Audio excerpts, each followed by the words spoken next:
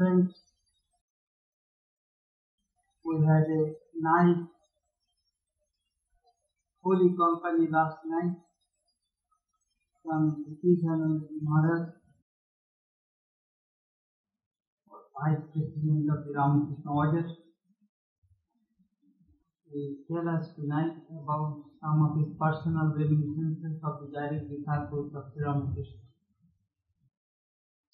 There is a famous saying of Tulushi Dasa, a medieval mystic. The value, the efficacy of the holy company. If you do not have holy company, your delusion will not dispel. If the delusion does not dispel, if you, if you do not talk about God, the delusion will not dispel. And if, the delusion does not dispel, you will not see God. So holy company plays a vital role in spiritual life. The more we talk about God, the more we remember God. And thus our mind becomes attuned with God. So holy company is very important. It is very difficult, as I told you, to have this type of holy person in our midst.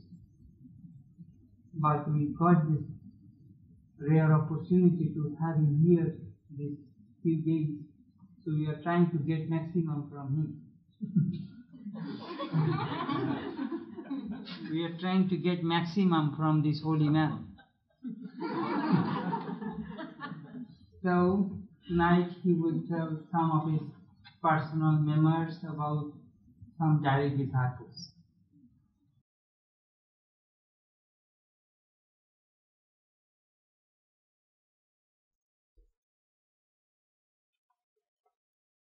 This will.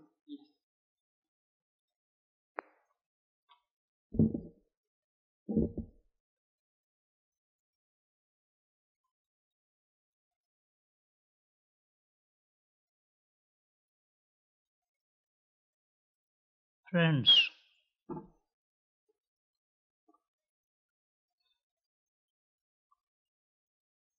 holiness is something which can be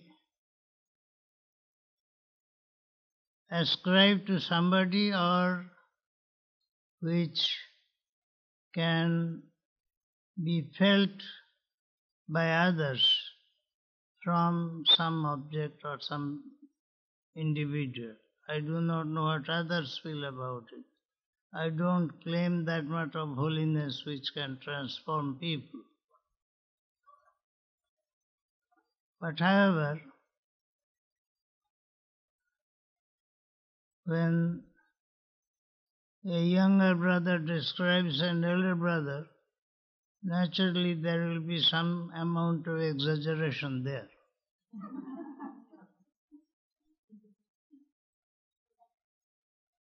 However, that apart,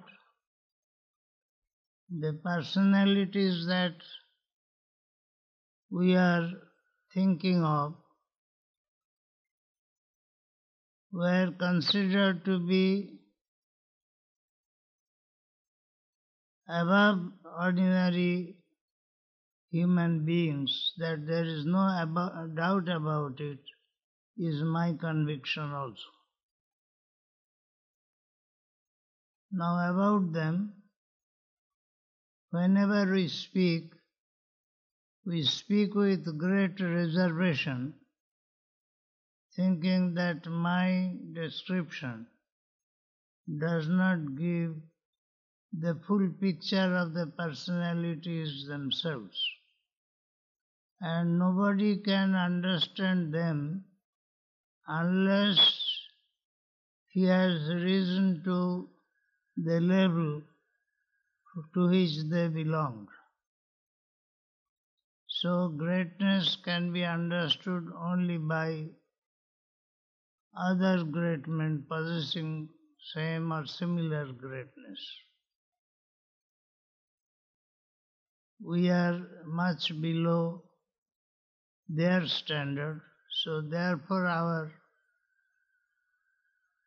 evaluation of them will be naturally limited by our capacities.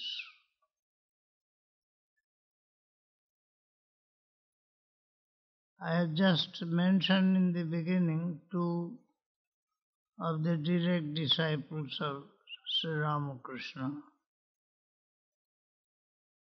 One of them, Swami Premananda, was placed in the highest category among the great disciples of Sri Ramakrishna by himself. That category is not our creation, but that is the experience of Ramakrishna himself, the highest group to which only six disciples belonged. However, Swami Premananda, about Swami Premananda, Sri Ramakrishna said, is pure to the very bones. That is, the Bengali expression is Har Shuddha Pavitra, pure to the very bones. And Sri Ramakrishna, when he used to be in high ecstatic mood, in deep samadhi, ordinary people could not touch him. If they did, Sri Ramakrishna felt extreme pain. But only Baburam, that is Premananda, was permitted to touch the master in such conditions. That can give you an idea of the greatness of the Swami.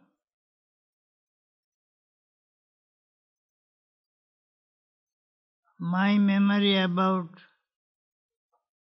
Swami Premananda is very faint. I just faintly remember that I saw him about a year or so before his passing away. He passed away in 1918 and I may have seen him in 1917 or 16. I don't remember clearly. And about the features also, I have just a faint memory. But I have the great impression that he was held in high esteem by his own brother disciples. And it is known to everybody that he was extremely affectionate towards one and all. That is why he had great influence over the devotees who used to visit Belur Math and became devotees of the order. Swami Premananda was full of prema or love. Therefore, he was given the name Premananda by Swamiji perhaps. Swami Vivekananda, Premananda. That was his distinguishing feature. The disciples had some special traits, every one of them had that. And Premananda can be distinguished by his trait as a man of unbounded love, love for everybody. So the name was aptly given to the Swami, and name is Premananda. People felt attraction in at the first meeting as it were. He was a big draw among the devotees of Ramakrishna. For one thing, that others were not manifesting their love for them so much, but Swami Premananda was an open book. Everybody could feel his the touch of his affection, the touch of his great love, that could not but bind the hearts of the devotees to with him or with the order. That was Swami Premananda from the very beginning. After the passing, after the after Swami Ramakrishnananda, who was rendering direct service to Sri Ramakrishna after his passing away also, continued that service as if he was in physical body, continued that service in the shrine room where Sri Ramakrishna was installed there. His picture was installed and the service went on like that.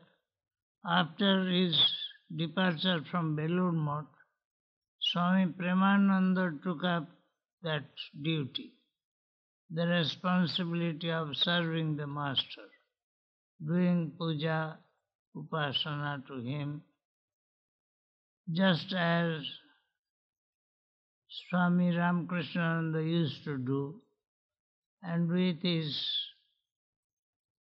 his fervor no less than that of that of Ramakrishnananda, and continued that almost to the last day of his physical life.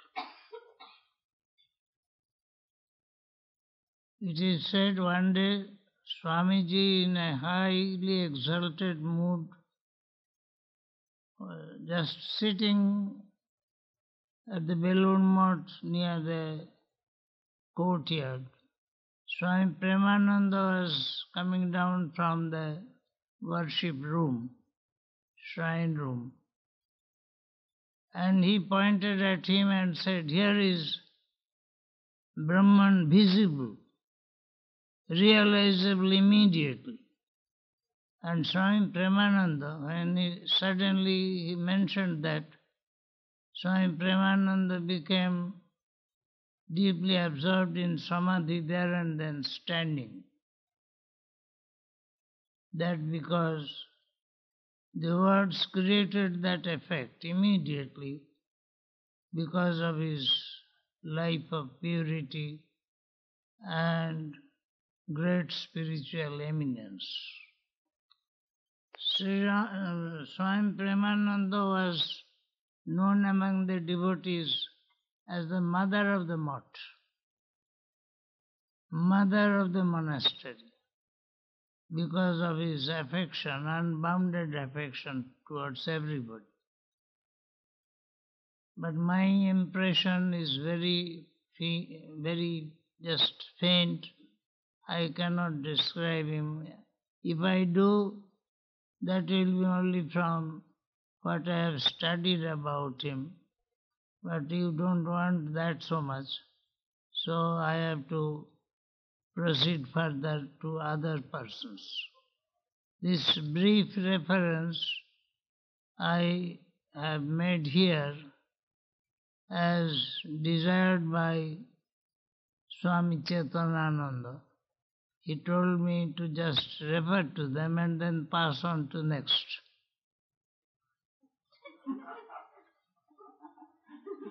that is true.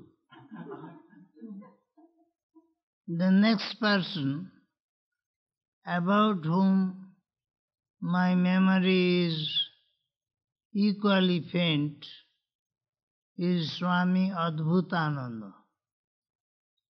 I remember to have seen him when he was not well and residing at the Balaram Babu's house I mentioned before, where many of the disciples of Sri Ramakrishna used to live occasionally.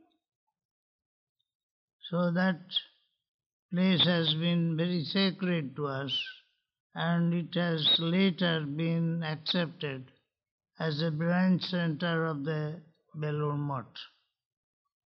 Now I saw Swami Adbhutananda there, as I told you when he was not well, seated in a room just as I enter the gate. The, on the left hand side there is a room. We stayed there. That much I remember and very faintly about his features. Now about Swami Adbhutananda, the name Adbhut means wonderful or uh, what do you call Adbhut?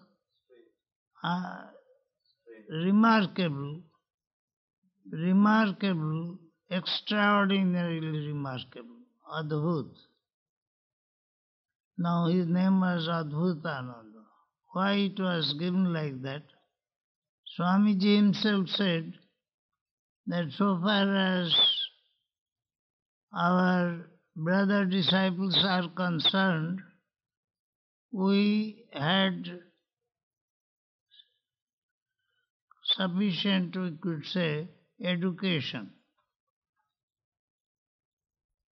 Education, modern education, as well as the ancient scriptural education also. Therefore, we could build up our capacity to understand deep religious thoughts, ideas. But about Swami Adbhutananda, it is known that he was absolutely innocent of all education. He did not have any education worth the name. Sri Ramakrishna himself once wanted to teach him, though the master was not highly educated himself. He wanted to t- teach the disciple just the, uh, the letters at least. He started to teach him letters.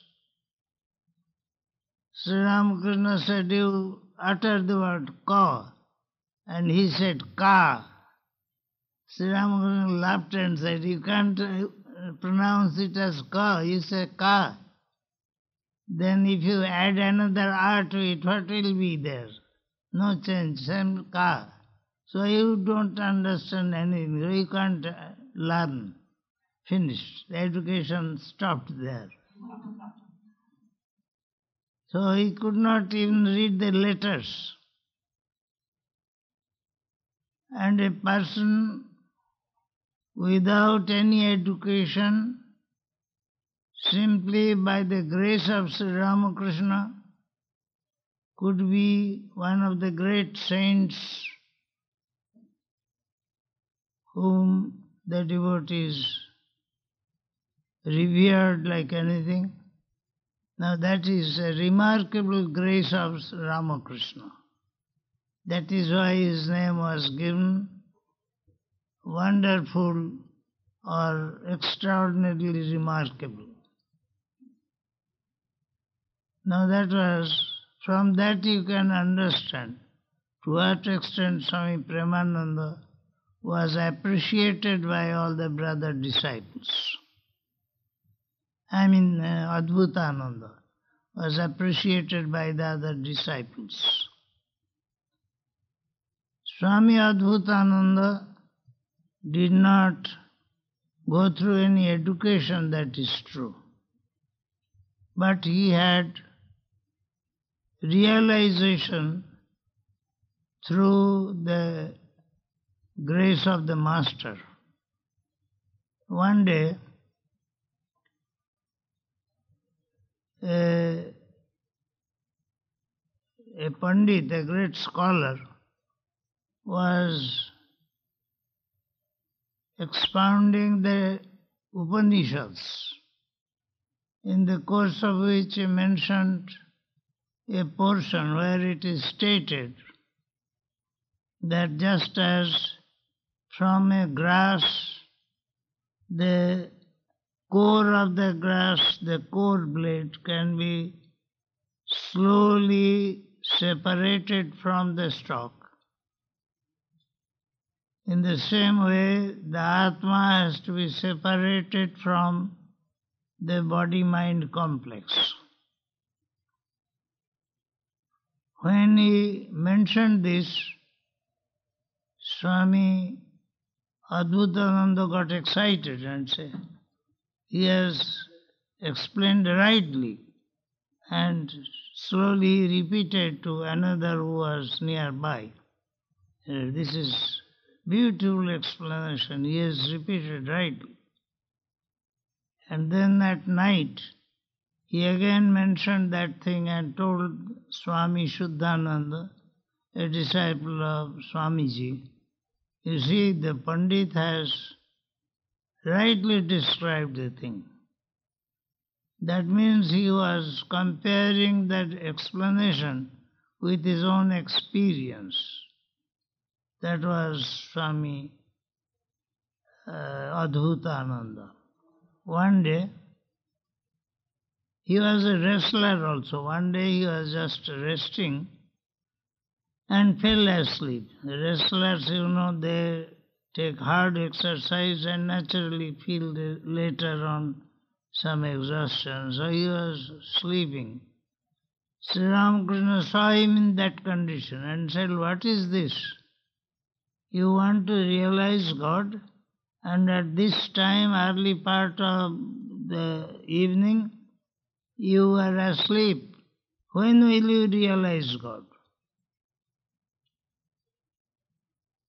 Swami Adbhutananda felt ashamed, begged the pardon of the master, and since that day, throughout his life, he never slept, uh, slept a whole night. Never slept. Any light, any night he would not sleep at all. Whatever little sleep he could have, that only in daytime, whole night he would be awake and in meditation. From that you can understand the determination with which he proceeded towards the path of God realization and how literally he followed the advice of Sri Ramakrishna. The instructions are carried out to the letter. That is another instance of his greatness. And later on, even big scholars and seekers of God used to come to him, sit at his feet, and hear profound religious truths from this unlettered person. That was the greatness of Swami Adbhutananda. I have not given any exhaustive description which we gathered from our reading or from hearing the other brother disciples. But I pass on to the next person. Third person I refer to is Swami Turiyananda. Swami Turiyananda was a born man of knowledge, as it were, seeker of God from the very birth. Before even coming in contact with Ramakrishna, he was practicing Vedanta and other religious courses with great earnestness. And after coming in contact with Sri Ramakrishna, Swami Turiyananda found in the Master a great enlightened soul and dedicated himself at the feet of the Master. He was a dedicated soul from the very beginning, very austere in his habits. There is one mention that he said, I never sat leaning on anything. I always used to sit erect. When I saw him, he was not well. He had diabetes and rheumatism and other kinds of illness. But he was never sitting just reclining on anything. He was always used to sit erect like that. The position, the posture of a yogi. And he was of a bright complexion, very fair complexion. And whenever he used to talk, his talk would always concern something about God or about spiritual practice. Whenever he talked, his face was flushed and what tremendous force he had in his words that is unimaginable unless one had heard him directly. One could not understand the depth of it, the force with which he used to say anything, the force that came from the great personality that he had. We naturally felt extremely drawn towards him. And as he was in the house of Sam Balaram Babu, which was very close to where I lived in my early days, from there I often visited him. Whenever I visited him, I found him seated in that posture and always talking of something, some God or some something of God or Vedanta or other kinds of practice. Sri Ramakrishna therefore loved him very much and his teachings went on under the feet of the Master with zeal that is uncommon. I give you an, one instance of it. He was thinking of the self which is eternal, which is unconditioned, which has nothing to do with the changes of the body. That was his meditation course. One day he was taking bath in river Ganga along with other bathers there when suddenly people shouted, There's a crocodile, there's a crocodile. So all ran to the land away from water. And Swami Turiyananda then his name was Hari. He also, just with that impulse, he wanted to come out of the water. But then he thought, what? I am speaking of Vedanta, I am thinking of the soul which is indestructible, and I am afraid of the crocodile, I am afraid of just the body dying. Again he went into the water and just continued bathing.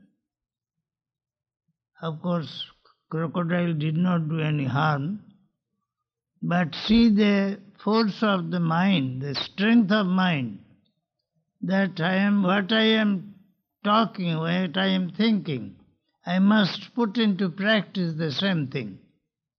Otherwise, it will be hypocrisy. In the same way,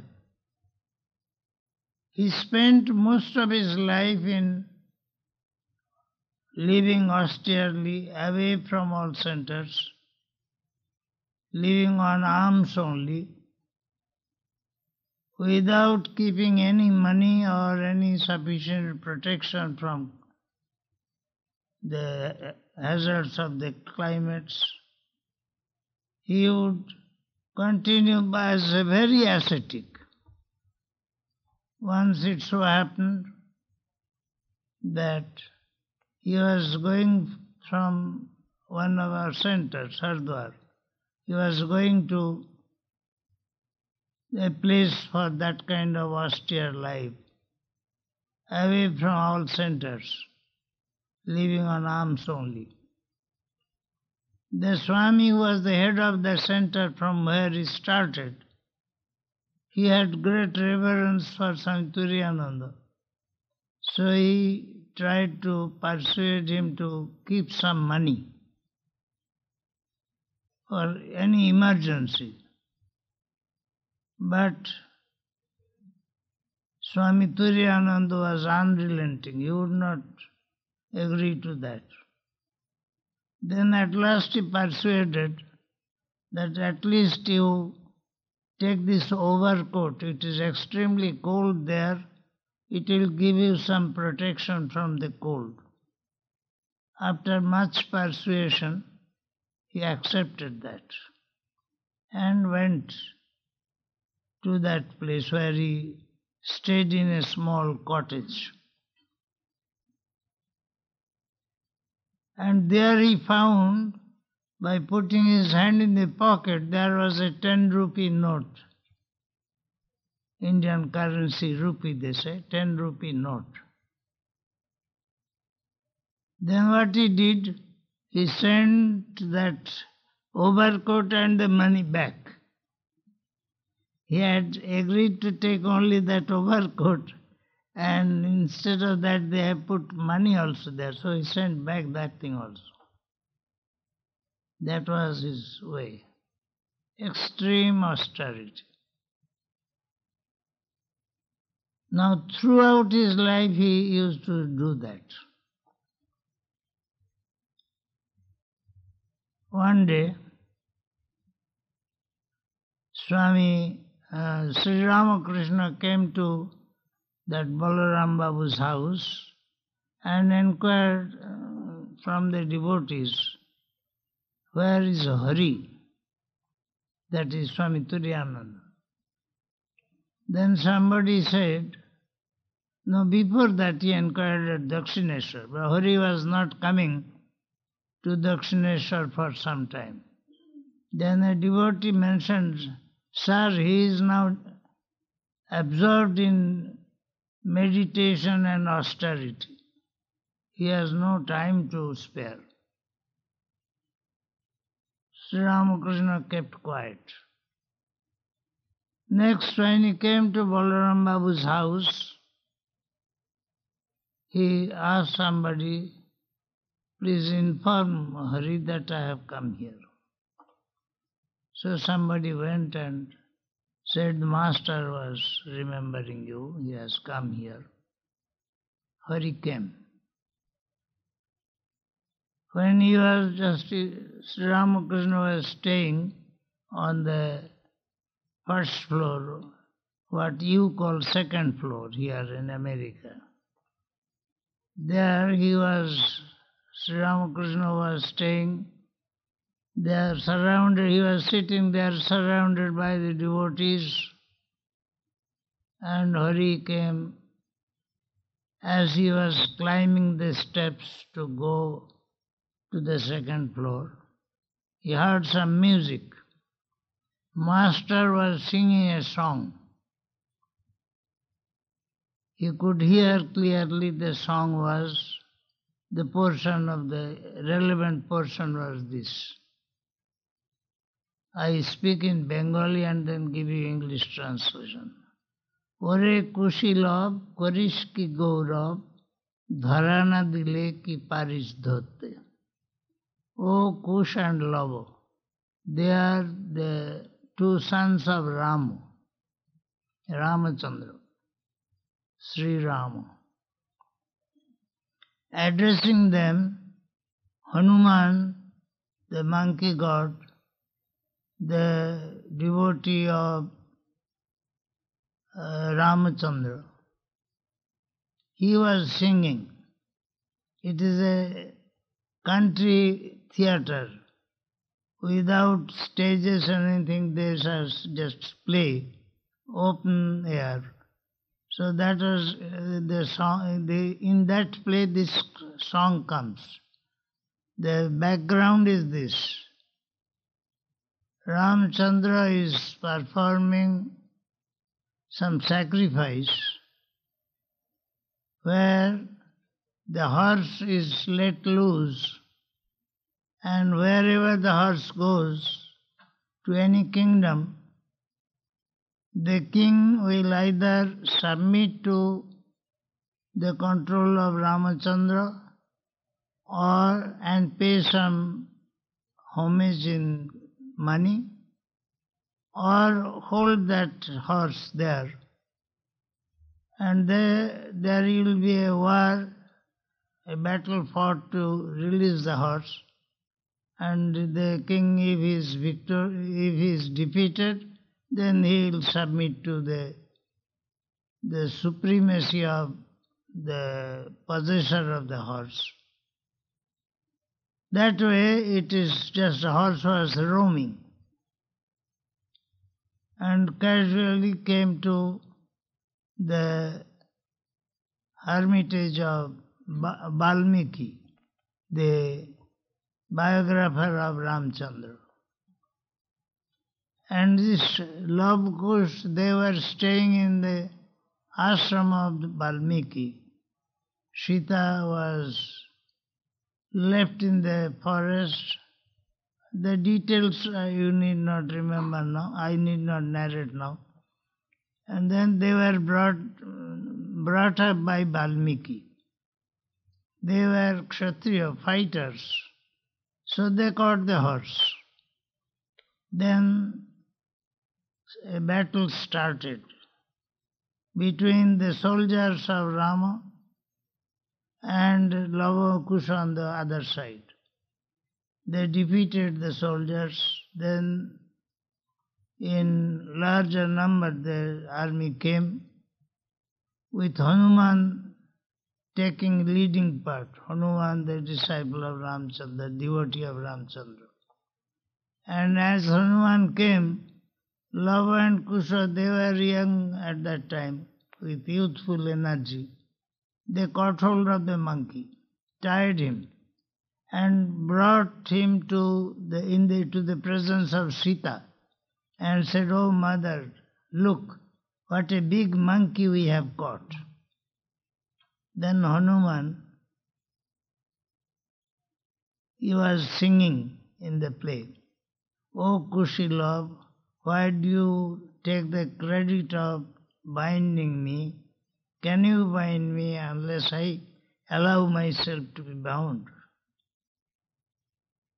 Master was singing this song, and copious tears were rolling over his cheeks, flooding the chest and wetting the ground, the carpet beneath. So much copious tears he was shedding. Swami Turiyananda at once realized that this is an instruction to him. It is meant for him alone. He had been thinking by his austere practices he could just have the realization of God by just taking this, taking by storm, as it were, the citadel of God. He knew then this is not possible. Submission to Him, resignation to Him, at His feet, complete dedication is what is necessary, complete surrender. And he also began shedding tears thereby. That is the story. So Hari Maharaj was of that spirit, but Sri Ramakrishna taught him the new lesson. which he understood and often repeated. Often he used to repeat this. Depend upon the Divine Mother, Mother of the universe. Unless his, her grace comes, nothing can be achieved. That was the, the sum total of the experience of Swami Turiyananda. But did not, that did not contradict his belief in the Absolute because Sri Ramakrishna was a wonderful harmonizer of all the attitudes and his disciples were cast in the same mold. So that was Swami Turiyananda. He was full of fervor for tapasya, for austerity, for sacrificing everything for the sake of God realization. When we used to visit him, many of us belong to the Brahmin caste. The Brahmin caste means the caste which mainly concerns itself with spiritual practices. Of course, that is now not so binding, but formerly it was that. They were the priest class. They used to study and teach the scriptures, perform puja sacrifices, services, conducted services. That was their main occupation.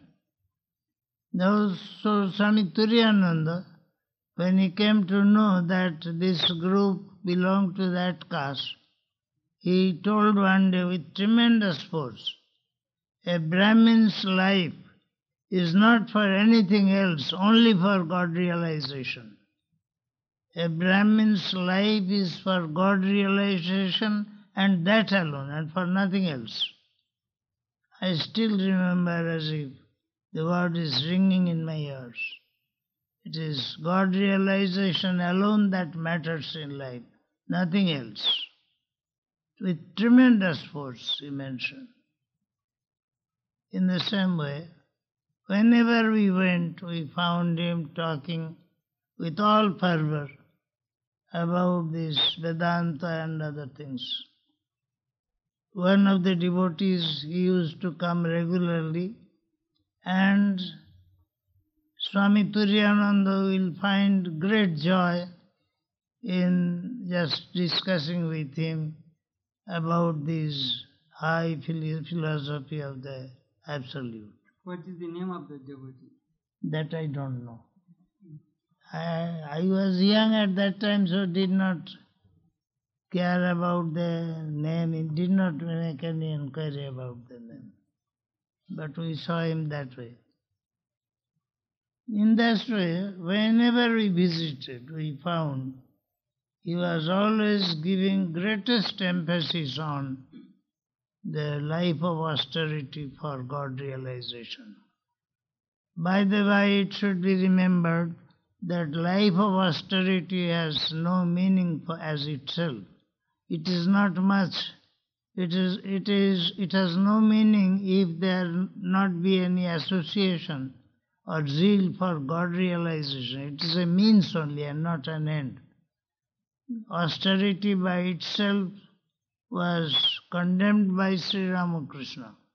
He said God realization is the ultimate goal and austerity to some extent may be helpful. I mention this and lest you think that he that Sri Ramakrishna and his disciples gave much stress on austerity itself. No.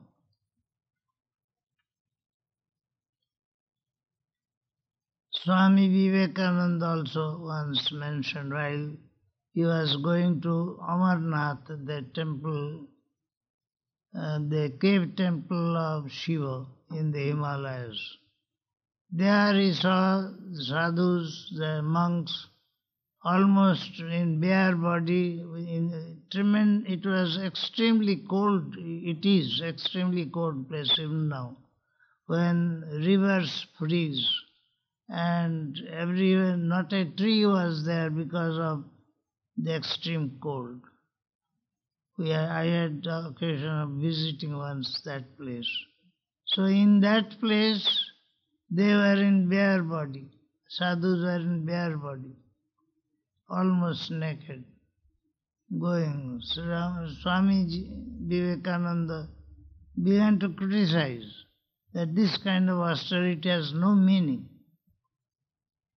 But afterwards he said, but some amount of austerity is necessary in life for the, for the seekers of God.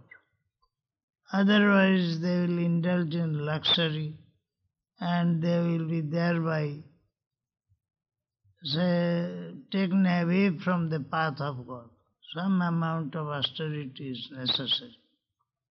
The idea is that simple living without indul- indulging in the ple- pleasures of the body, a man should remain with constant attention towards the ultimate goal, God realization, and austerity as a means may be followed to some extent. That is all.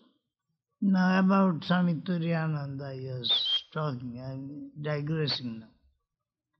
Swami Turiyananda was always austere in his habits, everywhere. I told you about the story of the crocodile. Then another story in this connection, another event. When he was in that place of the sadhana practice in the Himal- not in the Himalayas, it was in the plains, but a place considered holy and very convenient for life of spiritual practice. There he was there, then at that time he heard people shouting that there was a tiger. So instinctively, what he did, the door was simply a cottage has no protection practically. There was a, just a door. There was nothing to close the door. So he closed the door and put a stone for protection so that the door cannot be opened. Of course, it's a flimsy protection, nothing very safe. And then he laughed that I am still thinking of protecting myself, as if the Divine Mother is not protecting me. He removed the stone. Of course, nothing happened. What I say is how his mind worked. That's kind of practice and profession completely went hand in hand without contradicting one each other. That is what is important. He practiced what he thought as means for God realization. Whole life was like that. In this connection, I should not fail to remember one point. He had so much control over the body and the mind that he could do anything with it as it, as it were. Nothing could be could go against his command. He used to say, when you sit for meditation, write on the door of your mind, no admission. No other thought should enter there, as if it can be done by anybody and everybody. It is not easy, but for him it was natural. When no other thought is allowed to enter, they could not. That was the idea. Once, when he had diabetes, there was a carbuncle on his back. Doctor said it had to be it had to be operated. It's that, that portion, the flesh will have to be affected flesh portion will have to be removed. It was a big operation. So the doctor told him, Sir, I shall put you under general anesthesia so that you will not feel the pain. Swami Turiyananda said, Why? You just tell me when you are going to do it. I shall take my mind away from that portion of the body. The doctor simply did not believe it. But he said, All right, when he is insisting, did not like to be put under anesthesia. All right, I shall begin. And then when he will feel pain, he will naturally ask me to just uh, anesthetize him. So we started the operation. And Swami Turiyananda remained quiet, calm, as if nothing has happened. as if the operation was going on in, on some other's body. Then, when the operation was completed, the doctor said, Operation is over. Oh, is that so? Very good. doctor simply felt uh, amazed that how can a man bear so much pain? Next day or the day after that, the doctor came again to dress that wound. And in the course of his dressing, he found a portion of the flesh, just a small portion, should be removed. So he put his knife and removed that portion. And Swami Turiyananda got started. What is this? Says, Doctor said, Sir, you bore all the pain yesterday, and today I have done only a little pin prick. But why did you feel the pain? Swami Turiyananda said, He did not tell me that you are going to do that. Then I would have removed my mind from that person. See what amount of control a person like that can have over his body and mind. These are two illustrations worth remembering.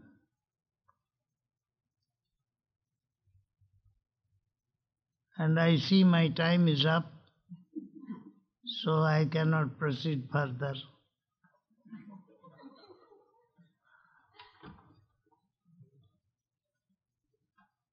Tomorrow you will tell Mahapurush Maharaj. Today you say a few words about M, your first your impression. Not today, now Okay. it is. No, no.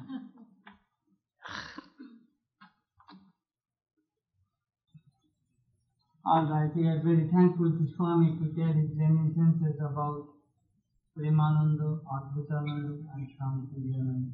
Tomorrow night also we shall hear some more about the diabetes. Good night. Thank you everybody.